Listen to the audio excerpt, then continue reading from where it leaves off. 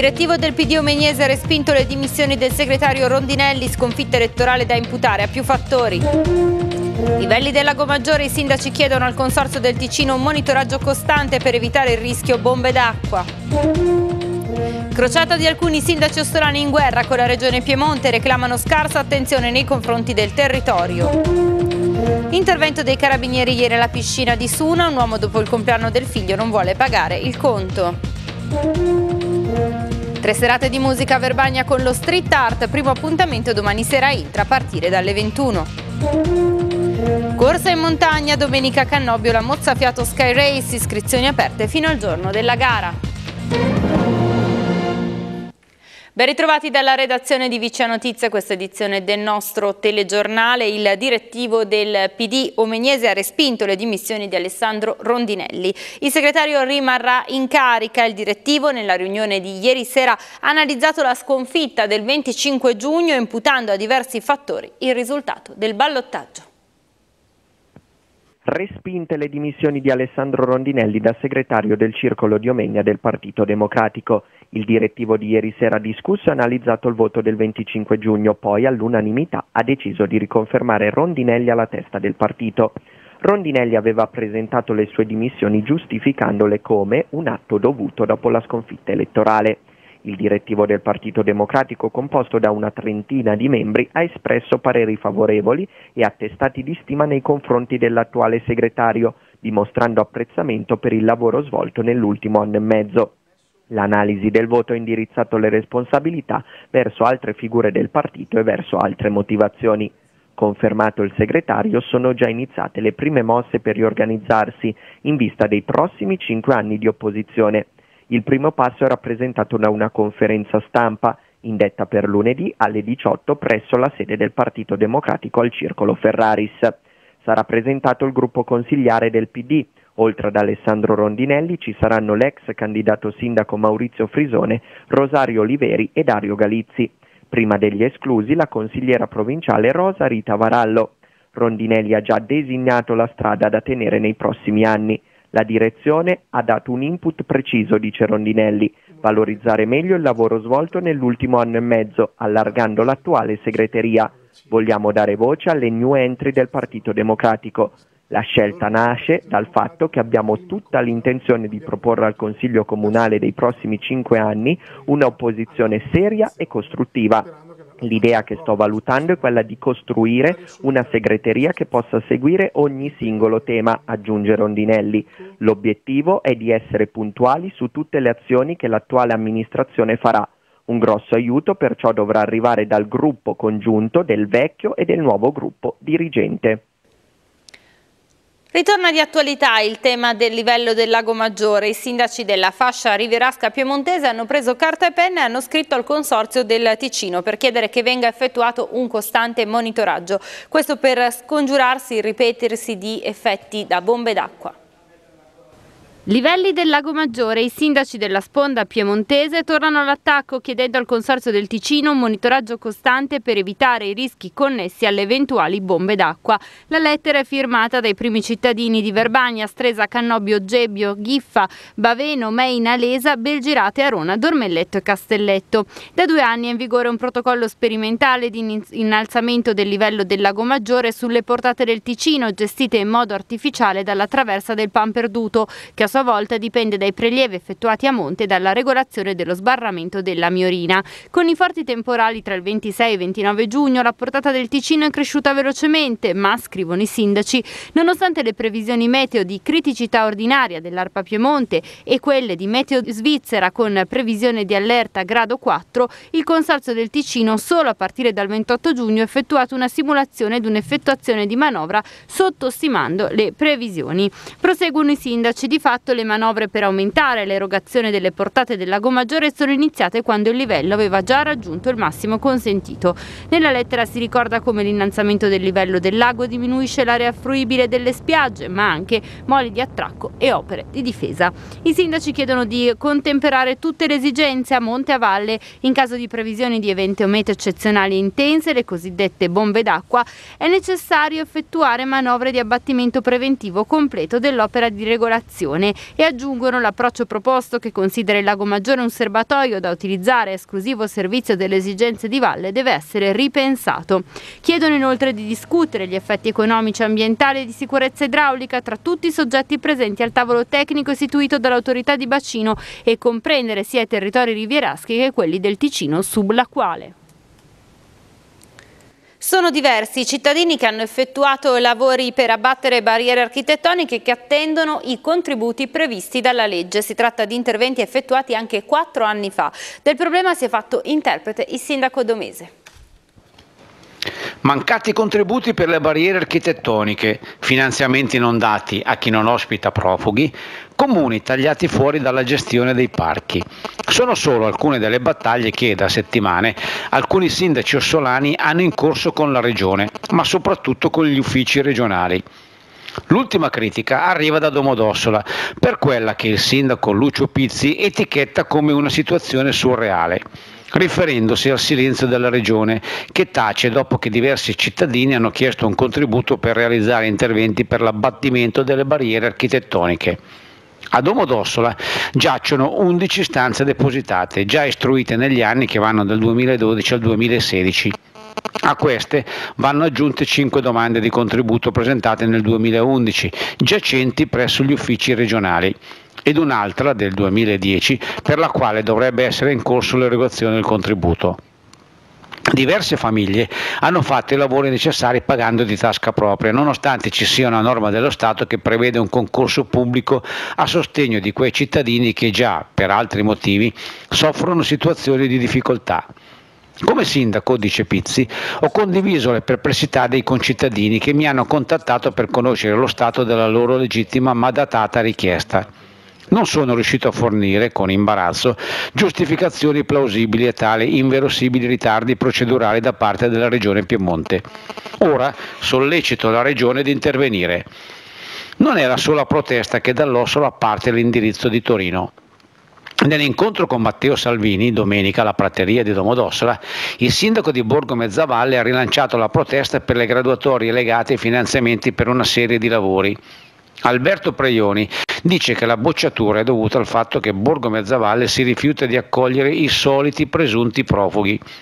È assurdo, dice, premiare coloro che hanno clandestini sul proprio territorio. Cosa c'entrano i lavori di opere pubbliche con tutto il giro di affari dell'ospitalità? Di recente anche il sindaco di Premia, Fausto Braito, aveva tirato in ballo la regione e chiesto l'annullamento della delibera regionale che riduce il ruolo dei comuni nella gestione delle aree protette dell'Ossola sottraendo le competenze dei comuni sui loro territori per darle in gestione in esclusiva all'ente parco dell'Ossola.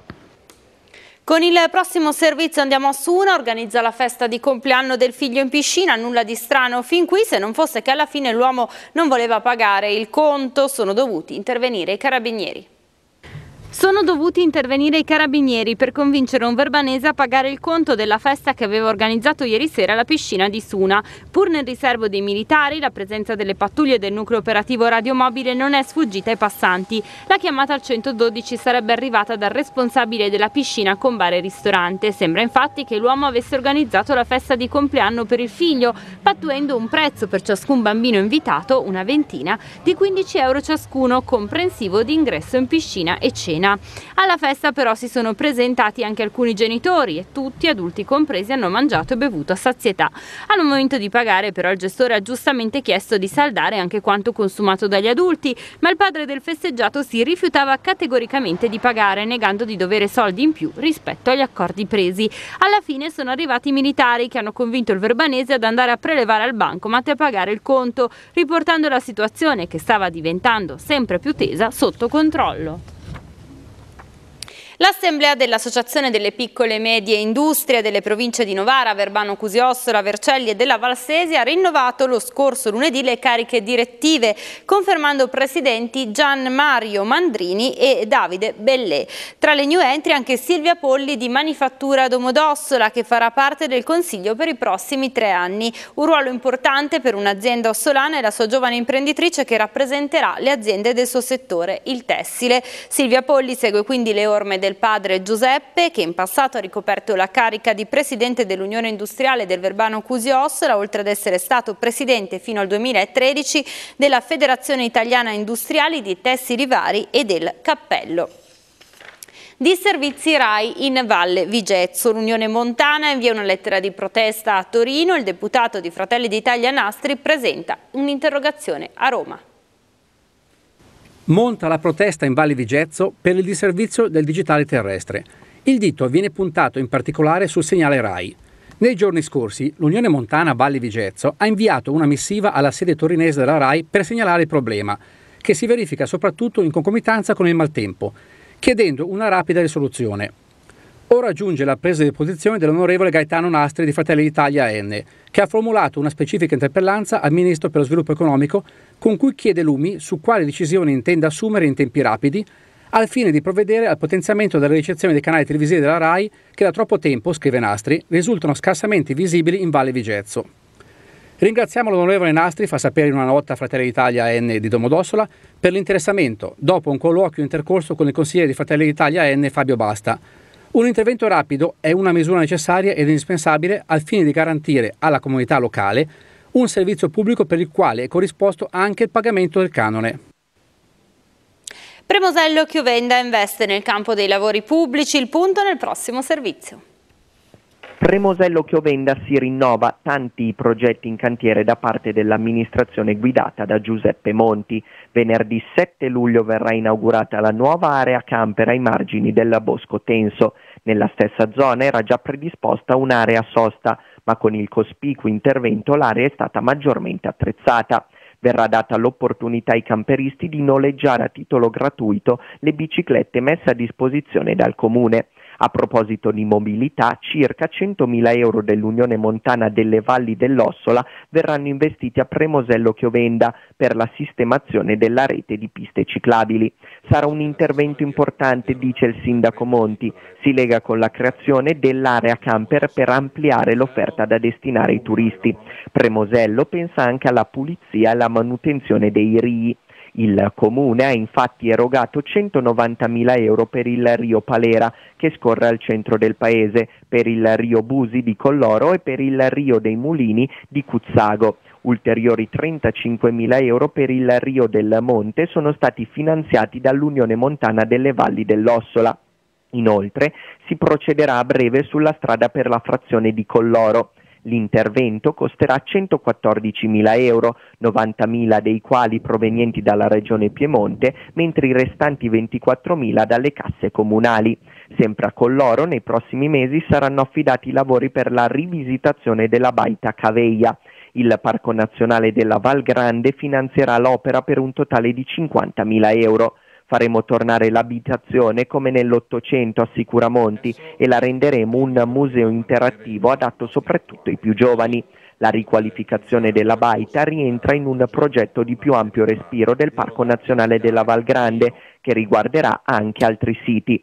In un anno di amministrazione, conclude il primo cittadino, abbiamo reperito fondi extracomunali per 515.000 euro. Siamo soddisfatti e continueremo su questa via. Cresce la raccolta differenziata da Rona, lo testimoniano i dati diffusi dal Comune, numeri che permettono alla città del San Carlone di entrare di diritto nell'albo dei comuni ricicloni d'Italia. Grandi risultati ad Arona per la raccolta differenziata, i dati lo confermano. Se a giugno 2016 i numeri del secco erano stati pari a 226.250 kg, quest'anno si sono notevolmente abbassati, arrivando ai soli 99.090 kg di secco indifferenziato. Un obiettivo parzialmente raggiunto grazie all'impegno del comune delle attività commerciali e dei cittadini, che dai 192 kg di rifiuto annuo per abitante hanno raggiunto gli 84 kg, proclamando Arona una delle città dei comuni ricicloni.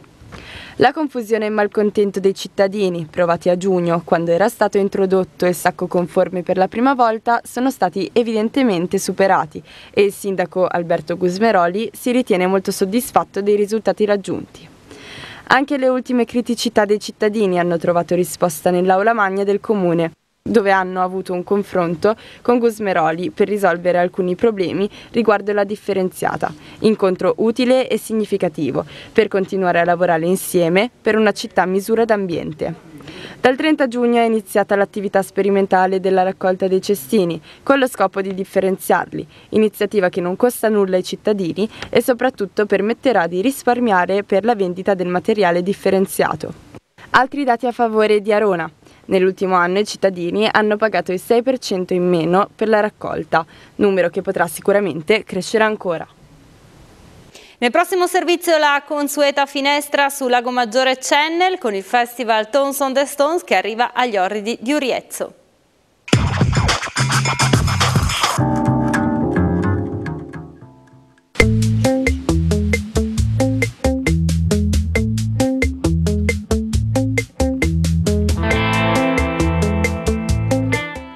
Ad Uriezzo, Premia, per raccontarvi in anteprima l'undicesima edizione di Tones on the Stones. Proprio da qui, domenica 9, ci sarà la prima performance dedicata ai bambini all'interno degli orridi.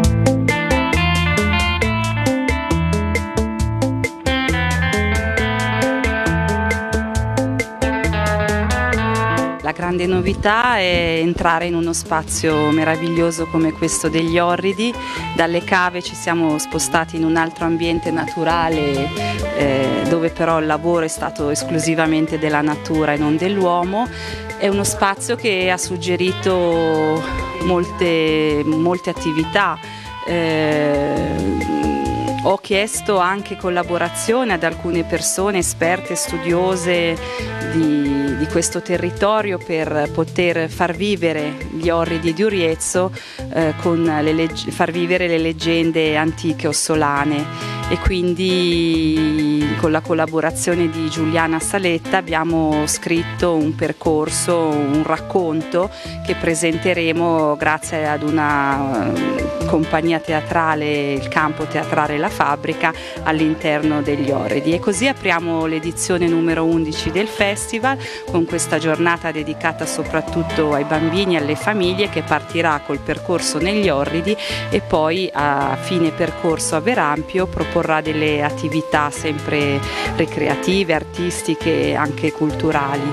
Ci sarà un laboratorio eh, tenuto da un campione del mondo della pasticceria, Stefano Donelli, che eh, insegnerà ad usare il marzapane. Questo ci consente anche di lanciare l'evento del weekend successivo perché al Foro Boario il 15 luglio presentiamo l'opera Hansel e Gretel e quindi Stefano farà un po' il pasticcere della cattiva strega. E sempre a Verampio, domenica 9, ci sarà la, pre la presentazione di un cortometraggio sul tema delle streghe e anche una, un approfondimento sulle erbe, sulle proprietà soprattutto di quelle pericolose o velenose. Quindi una giornata simpaticamente, scherzosamente horror. Eh, per, per, i ragazzi, per i ragazzini, quindi questa è nostro, la novità di quest'anno. Ultimo weekend della mostra Exodus dedicata al tema dei profughi e dei migranti allestita alla sede della SOMS di Domodossola. Sabato 8 luglio in programma alle 17.30 lo spettacolo Il viaggio più lungo, l'Odissea dei migranti italiani tratto dal libro Lorda di Gian Antonio Stella che sarà accompagnato dai canti e dalle melodie della Compagnia delle Acque. Domenica 9 luglio invece La giungla di Calais raccontata dal progetto Meridiano d'Europa ideato ideato e realizzato dai ragazzi del VCO che si sono confrontati con i temi delle migrazioni. Seguirà un aperitivo musicale con banchetto informativo e tutte le iniziative saranno ad entrata libera. Domani sera a partire dalle 21 la prima delle tre serate dell'edizione 2017 di Verbagna Street Art, appuntamento che torna anche il 13 e il 20 luglio. Nelle vie e piazze di Intra, scene, eh, di scena, musica, intrattenimento e divertimento. Come nasce e con quali intenti Verbagna Street Art? Allora, Verbania Street Art nasce con l'intento di portare eh, le arti in strada, quindi quest'anno è incentrata prevalentemente sulla musica e sull'arte della pittura e il prossimo anno vogliamo proprio portare quello che invece sono tutte le arti di strada, quindi ogni anno una novità. Non più quindi poi la valorizzazione solo di determinate zone di intra, ma coinvolgere proprio tutta la cittadina, tutto il centro storico e anche e soprattutto le vie più piccole e meno frequentate. Ecco, ricordiamo che i punti musicali sono ben 13. I punti musicali sono 13. Che musica si ascolterà? Ma sarà, ci sarà un po' di tutto, ci sarà una, una varietà per accontentare un po' tutti, tutti, i gusti, quindi si passerà dal liscio al jazz, al country, a, al funky, al rock, al rock magari anche un po' più duro.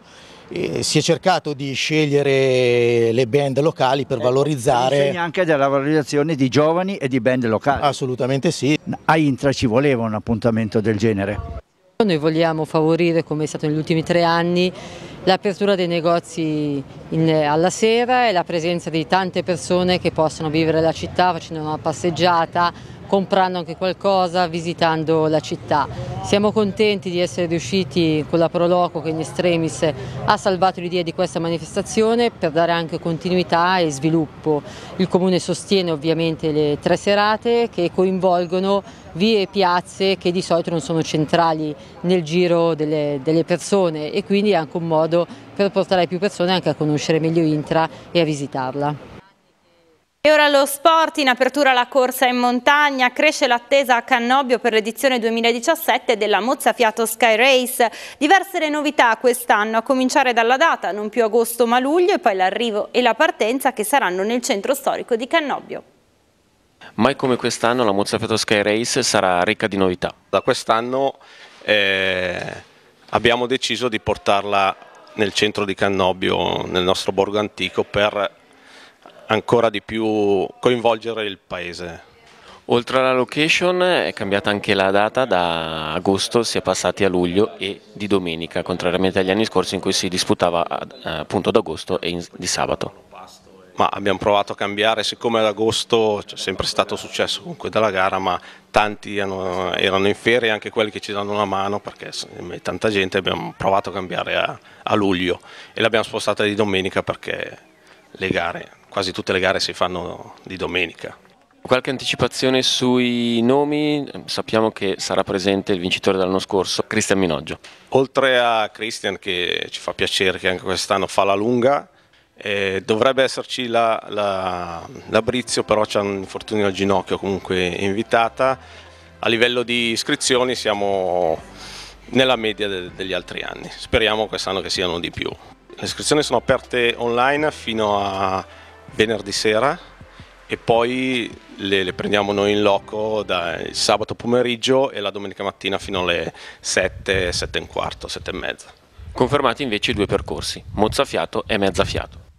Poi quest'anno le grandi novità che gli organizzatori hanno portato con la scelta di partire dal, sotto il campanile dal nostro borgo è un ulteriore elemento che vuole significare questo forte legame che c'è tra la Mozzafiato Sky Race e la comunità cannobiese, il coinvolgimento dell'oratorio con la, la, la parte eh, post corsa all'oratorio è un ulteriore elemento del coinvolgimento della comunità giovanile cannobiese per cui questi sono i tratti salienti significativi di questa sport, agonismo, conoscenza del territorio e promozione del territorio oltre questo, questo forte legame con la comunità locale, senso di appartenenza che è l'elemento significativo della nostra comunità. Nel prossimo servizio invece le immagini della camminata non competitiva denominata Runner in Vista svoltasi nel passato fine settimana a Gravellona Toce. A Gravellona Toce si è svolto sabato 1 luglio con partenza alle ore 9 al parco Lungostrona nei pressi del centro commerciale Le Isole Runner in Vista. Runner in vista è una camminata non competitiva di 5 km che fa incontrare runner vedenti e non vedenti nella condivisione di un'esperienza unica. Correre uniti, correre al buio, infatti è stata data la possibilità ai vedenti di bendarsi gli occhi e di farsi accompagnare nella camminata per provare le sensazioni di un non vedente nei suoi movimenti. Runner in vista si disputa in tutta Italia con un calendario di 11 camminate con partenza e arrivo nei pressi di altrettanti centri commerciali.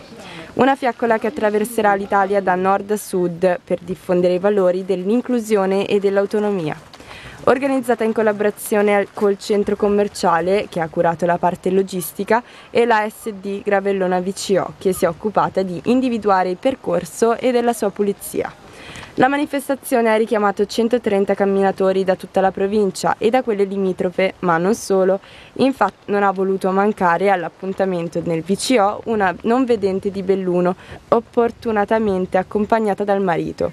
Per tutti la t-shirt ufficiale dell'evento da indossare durante la camminata. Il percorso, tutto pianeggiante, si è snodato lungo i sentieri della riva sinistra del Toce. In mezzo alla natura, coi profumi delle acque del Toce e della campagna, esso non ha mancato di entusiasmare gli organizzatori, che lo hanno definito il più bello e suggestivo di tutte le 11 camminate in programma. Il ricavato della camminata, così come quello di tutte le altre in programma, sarà devoluto all'Unione Italiana Ciechi e Ipovedenti.